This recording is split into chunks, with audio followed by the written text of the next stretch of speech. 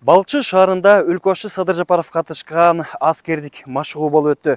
Бул жерде өлкөгө кирип келген душмандардын мээзин кантип кайтаруу керек деген тактикалык машыгуулар көрсөтүлдү. Аркамда турган бул куралдуу күчтөрүнүн оор техникалары душмандарды атууда ошол эле учурда мамлекетибизге жаңы келген учкучсуз учуучу аппараттардын мүмкүнчүлүктөрү көрсөтүлдү. Мисалы ала турган болсок учкучсуз аппарат бийиктиги жети миң метрден душманды так атып түшүрө алат.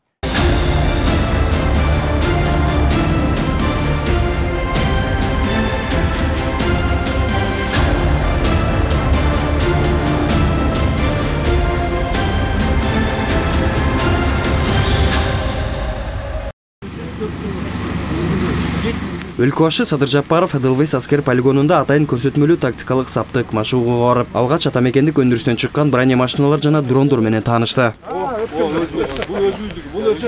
Производство минобороны.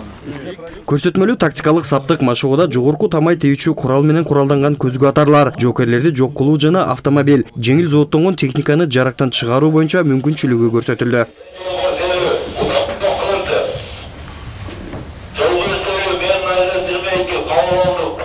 андан соң өлкө башчыга жер аба аба аба ракеталары менен жабдылган жаңы акынжы жана ак сүңгүр учкучсуз учуучу аппараттардын атышуу күчү көрсөтүлдү. Бул учкучсуз учуучу аппараттар абадан коргонуу жер үстүндөгү объекттерге да сокку урууга жөндөмдүү жана оптикалык радиолокациялык байкоо үчүн жогорку техникалык приборлор ошондой эле лазердик максаттуу аппараттар менен жабдылган.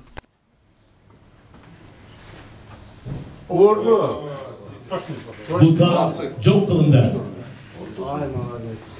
Атайын көрсөтмөлүү тактикалык саптык машыгуунун соңунда. Өлкө башы садыр жапаров сөз сүйлөп жатып куралдуу күчтөрү менен чек ара кызматын байрактар акынжы ак сүңгүр учкучсуз учуучу аппараттары курал жарактардын аскердик техникалардын заманбап үлгүлөрү менен камсыздоо жааты мамлекеттин негизги артыкчылыктуу багыттарынын бири экенин айтты. Кымбаттуу мекен сакчылары урматтуу мекендештер сиздерди бүгүнкү тактикалык саптык машыгуунун ийгиликтүү аякташы менен куттуктаймын кыргызстан ар дайым эл аралык укуктук принциптер менен нормаларды сактап келген жана мындан ары дагы бекем сактайт кыргыз республикасынын улуттук коопсуздугун кынтыксыз камсыздоо мамлекеттин негизги артыкчылыктуу багыттарынын бири болуп саналат улутубузга тилибизге динибизге жашаган жерибизге карабай баарыбыз тең мен кыргызстандыкмын деген күчтүү жарандык жана атуулдук сезим менен жашап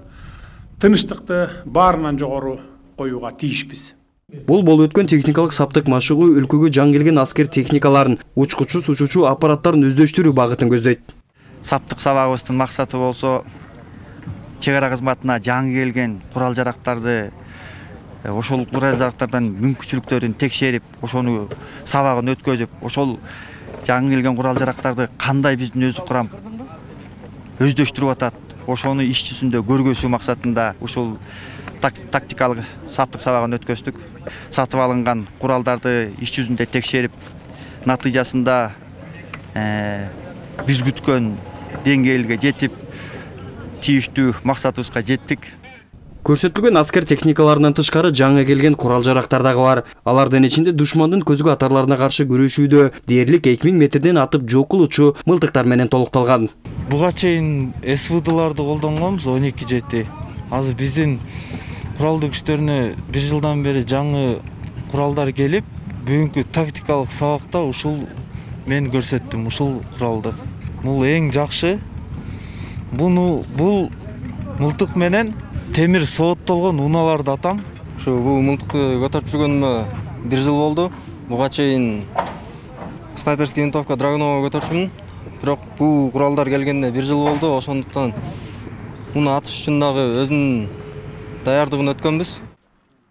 Мындай аскер техникалар куралдар менен өлкөбүздүн тарыхында алгачкы жолу республикалык бюджеттин эсебинен алынып жатат. Ошондой эле президент садыр жапаров жоокерлердин социалдык абалын чыңдоо турак жай менен камсыздоо ипотекалык программа анын ишин толук кандуу каржылоо аскер кызматчыларын жана алардын үй бүлөсүнүн татыктуу жашоосу үчүн каражат бөлүү улантыларын ишендирип өттү